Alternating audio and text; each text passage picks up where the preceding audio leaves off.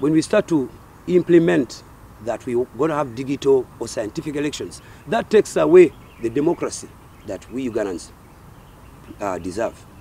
I would totally want Mr. Byamukama to revise that policy at balance so that people can freely have elections within regulations with the health um, processes regarded.